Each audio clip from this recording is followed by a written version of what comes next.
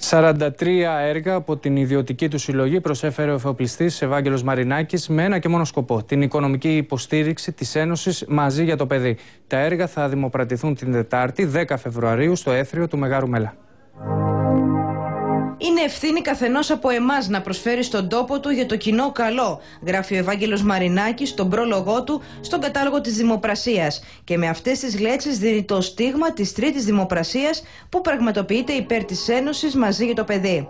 Το μεγαλύτερο και σημαντικότερο μέρος της Δημοπρασίας αποτελείται από 43 έργα τέχνης από την ιδιωτική συλλογή του Ευάγγελου Μαρινάκη. Τα 10 σωματεία μέλη της Ένωσης μαζί για το παιδί αγκαλιάζουν και υποστηρίζουν κάθε χρόνο περισσότερα από 5.000 παιδιά με νοητική υστέρηση, κινητικές δυσκολίες, οικογενειακά προβλήματα και βαριές αρρώστιες, προσφέροντάς τους καλύτερες συνθήκες διαβίωσης και καλύτερο μέλλον. Ελπίζουμε να είναι παρόντες όπως και στις προηγούμενες δημοπρασίες, οι φιλότεχνοι, δεδομένου ότι και οι τιμές είναι συμφέρουσες και προσφέρουν με αυτόν τον τρόπο στην ε, ενίσχυση των σωματείων. Οι αρχικές εκτιμήσεις των έργων κυμαίνονται από 70 ευρώ έως και 20.000 ευρώ, δίνοντας έτσι την ευκαιρία σε όλους όσους το επιθυμούν να βοηθήσουν τα παιδιά που έχουν τόσο πολύ την ανάγκη μας. Τα 85 συνολικά έργα θα εκτεθούν στο κοινό από τη Δευτέρα έως την Τετάρτη στο έθριο του Μεγάρου Μελά στην πλατεία Κοτζιά, 11 το πρωί με έτσι το απόγευμα. Η δημοπρασία θα πραγματοποιηθεί στον ίδιο χώρο την Τετάρτη 10 Φεβρουαρίου στις 8 το βράδυ.